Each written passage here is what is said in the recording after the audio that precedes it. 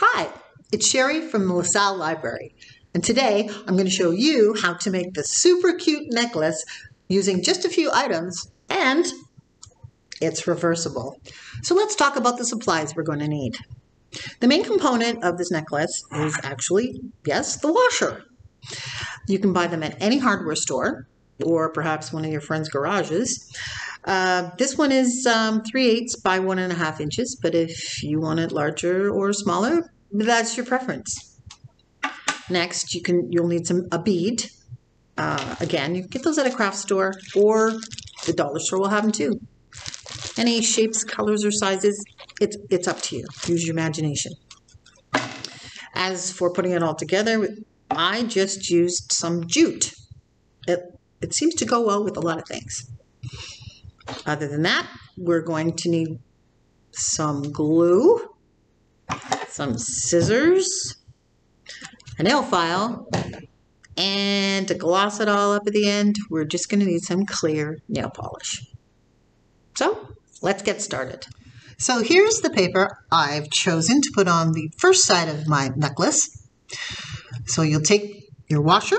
You'll put it over a spot on the paper that you think will incorporate all the colors you want, if you have several to choose from, and trace around the outside of the washer.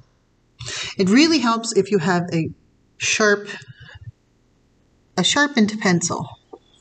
No, the line doesn't get too thick. So we trace around the outside of the washer. Then we're going to trace the inside of the circle of the washer. Once you do that, get your scissors.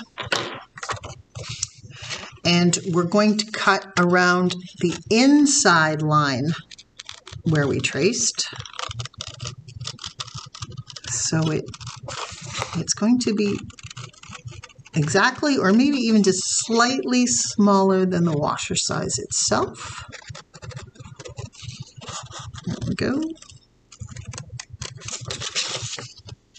And doesn't have to be perfect because there will be upcoming a way to trim off any of the extra edges.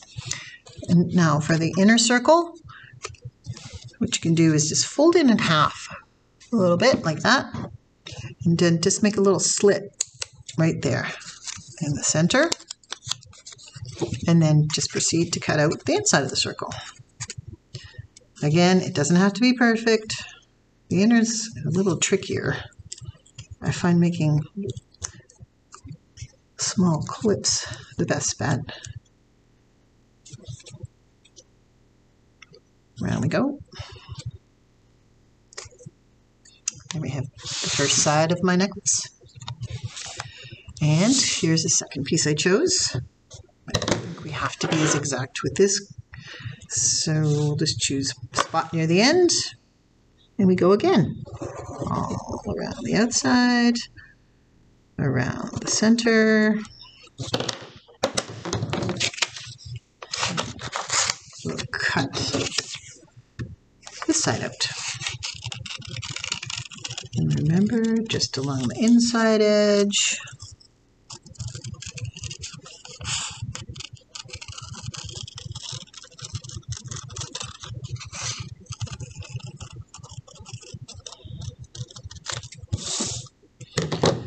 And again, that pesky little circle in the middle. Give it a little snip.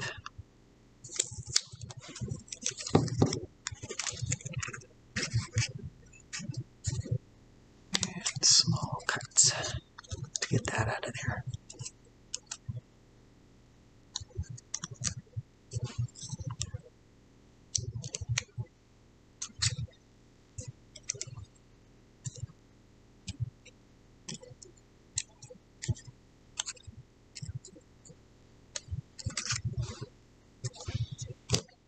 And there we have it. The front and back of our washer necklace. So now we're going to need to glue it on. Now I've just used regular white glue. And as I mentioned before, if you want to use a stronger glue, it's going to adhere a lot easier. So I'm going to start one side. Put some glue on there.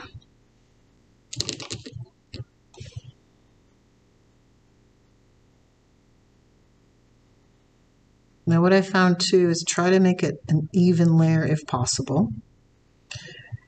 And make sure you get it right to the edges because if it's going to lift, it usually lifts at along the edge.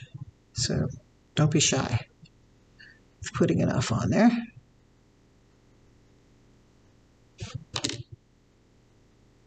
Try to get it as even as you can.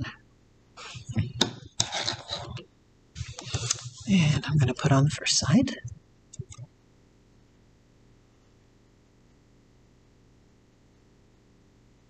There you have it. Flip it over. And we're going to do the other side.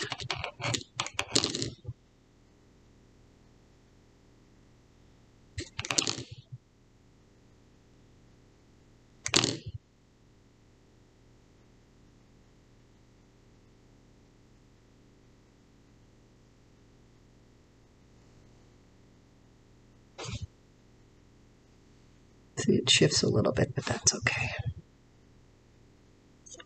Try to keep it in place. Put on the second half.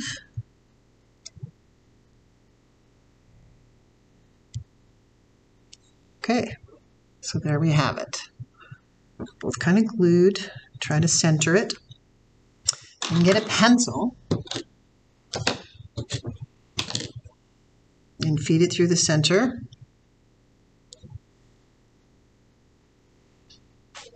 Then just prop it up.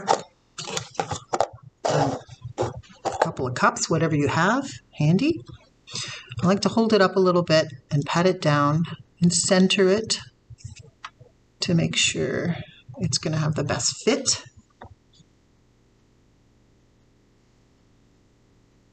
And as well as go around and pinch it a little bit to help it coax it to adhere the best way possible. There we have it. We're going to set it down away from anything. And we're going to let it dry. Well, it's been 24 hours since we let our necklace set to dry. And it's looking pretty good. Both sides are nice and dry. So we need to proceed to the next step, which is to get rid of the excess paper that's along the edge of the washer.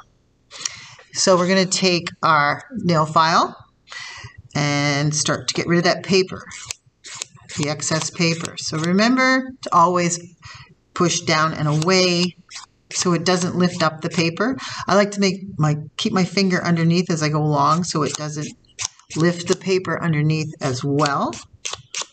So you're just going to work your way all the way around. Apply a pretty good pressure so you get makes it easier to take off the excess paper. Looks pretty good. Flip it over and we're going to do the other side. Now as you can see, I might have cut it a little bit too short, but that's crafting. and gives a little more character. And it's okay to see a bit of the silver. It's coming off pretty good, actually. That's great.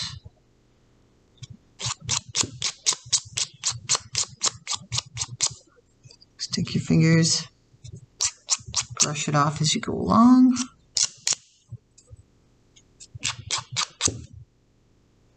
And there we have it. Looks pretty good. Now, luckily, I have very minimal paper left in the center of the washer. But if you're not so lucky, what you can do is take your nail file and then you can cut it down because you're going to want to have it skinny enough to get in the center of the washer. Here we go. So you're just going to take it and just file away like you did on the outside, going down you can even just kind of go around, like on the side of it, go around, round, round. Flip her over, do the same thing on this side. Yeah, you can see there's a little bit. And You don't have to be that precise as well because there'll be a point where you can actually use the next step to get rid of any little edges that you don't like. So there we go. So now we're ready for the final step today, which is we want to put on a nice glossy coat to keep it resistant from moisture. So I'm going to shake up my top coat and just start liberally applying it. So don't be afraid because it just gives it kind of a better look.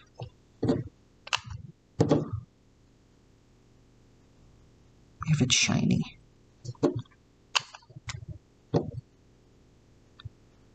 And as you can see, it's darkening up the paper a little bit, but that's okay.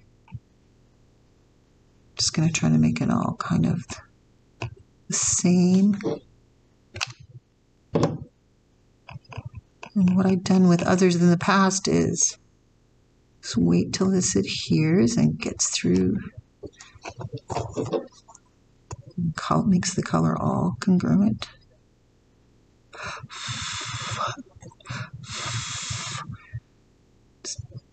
Dry it up a little faster.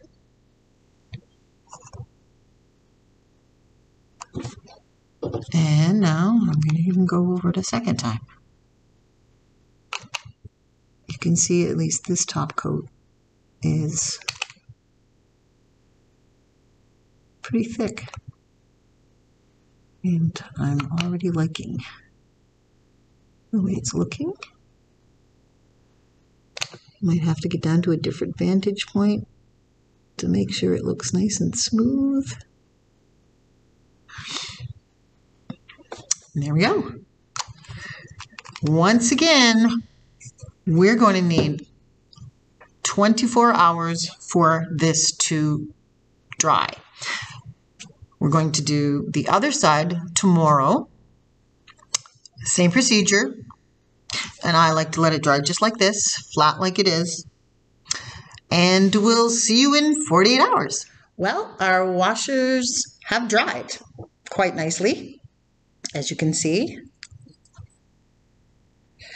Also, what I did notice was it, the paper didn't sit exactly the way I liked. So I'm going to amend what I told you before, and that is to cut exactly along the trace line inside and out, and I found that you have better results. So here's the one, one of the other ones I did, and it turned out just perfect. So now it's time, the last few steps, to put it together. So you're going to take your jute, and what I like to do is just wrap it around to try to determine the length, or approximately, and then cut it just a little bit longer than where you want it. And you take your jute, fold it in half, like so. And we're going to thread it right through the center of the washer, just like that. You see? And then pull that through here. Make it nice and tight. So there we have it. Now we just need to thread it through our bead. Try to line it up. It makes it a lot easier if you line up the tips. And pinch and try to thread it through. I found spinning the bead helps get it through a little easier. Make it nice and tight, like so. There it is. Then I like to figure out where I want it. Just feel with the back of your hand where you figure the knot should go. Mine was right about there. Always err on the side of caution and cut it a little bit longer because can't go back. Make a nice tight knot. Like that. Snip off any excess. There you have it. All I have.